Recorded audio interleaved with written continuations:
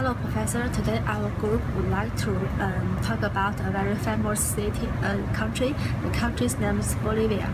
The country is famous as Salar and, and Salar de uh, Uyuni. Firstly, I'd like to introduce the city and the country. Uh, the, city, the country is Bolivia. It's bordered to the north and east by Brazil, to the southeast by um, Paraguay, and uh, the city is located in the south of Bolivia. Uh, there are about um, 10 million of people uh, living in this country and uh, uh, Uyuni, which is located in Bolivia, has the largest salt limited in the world.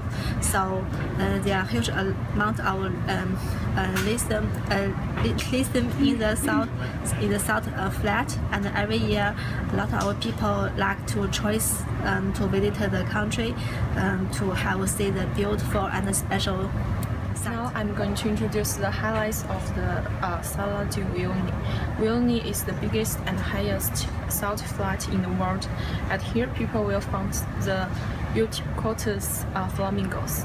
Also, at 3 kilometers outside Uyuni, there is an antique train cemetery. Years ago, the train was used to carry um, monoliths. Maybe in the future, it will be a museum. Furthermore, there was a salt restaurant. Everything in the restaurant was made by salt. But now, in order to protect environment, uh, it will become a museum for visiting. I'm going to talk about identify sustainable issues. Salar de Uyuni has lithium reverse first in size. However, the U.S. Geological Survey claims at least 5.4 million of lithium could be extracted in Salar de Uyuni, while another report put it as high as 9 million tons.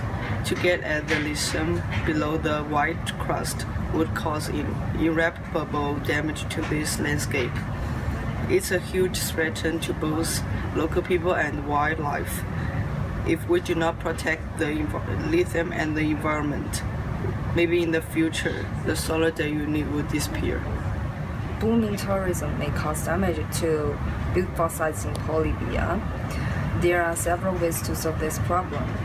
First of all, the government should call for a limited to number of tourists and secondly, make better communication with tourists, tell them the importance of environment protecting.